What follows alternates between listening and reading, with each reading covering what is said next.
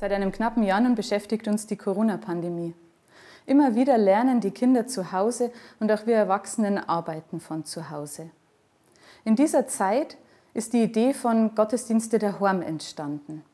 Eine Idee, wie man mit Familien zu Hause, mit den Dingen, die die Familien im Haus oder in der Wohnung haben, Gottesdienst feiern kann, um geheiligte Zeiten zu feiern, um den Alltag einmal außen vor zu lassen um Zeit für unseren Glauben und Zeit für Gott zu haben.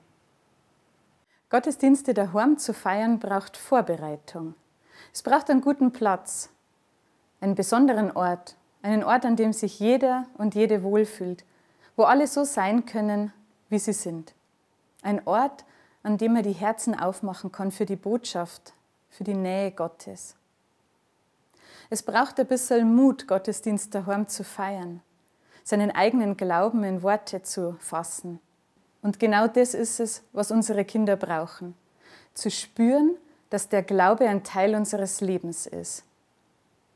Und wir Erwachsene, wir profitieren auch von der Kreativität dieser Kindergottesdienste. Von dem, was sich uns als neuer Raum, als neue Sichtweise erschließt, unseren Glauben verändert und tiefer werden lässt.